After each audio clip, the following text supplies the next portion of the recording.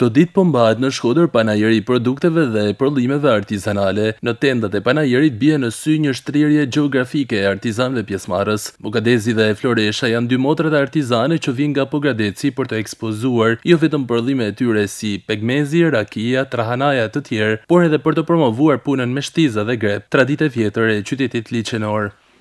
Prodhoj prodhimet tona, pekmezin, ardenin, turshitë, traditën, tranat, petkat, traditën tonë të Pogradecit që e kemi pasur trashëgimi që nga gjyshet tona. Punimet me dorë i bëj gjatë kohës të lirë ose ditën që s'punoj me motrën. U nxita se nga që vinja me motrën që e shoqëronja që shiste prodhimet e saja, e thosha pse të mos bëj edhe unë diçka e ta nxjerr. Floresha ka vetëm një vit që merret me punime artizanale, por po e dashuron gjithnjë më tepër pasionin e saj. Më pëlqen, e kemi traditë. Të rejat e sotme nuk dinë të ngulin një gjilpërë, i themi neve.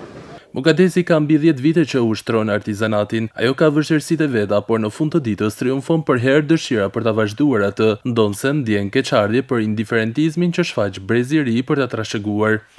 Për të vlerësuar I vlerëson këta që i njohin, mosha e tretë, që i kanë pas provuar, kurse këto të rinjtë nuk i njohin fare.